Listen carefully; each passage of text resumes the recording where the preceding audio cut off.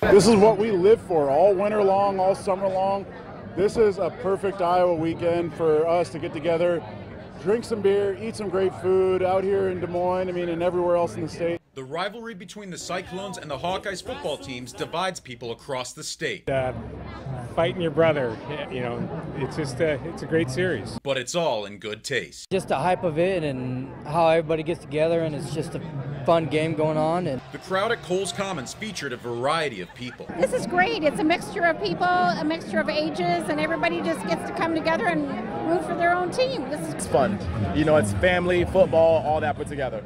People had their eyes glued to the big screen as the two teams duked it out. Fans were always on the edge of their seat. You just never know which way it's going to go, so I think that's the like it's always a nail biter. You never know. It's a game people look forward to all year. You come together, you drink together, you have a great time together, but it's a friendly rivalry. You have fun with each other, and that's what makes it really great.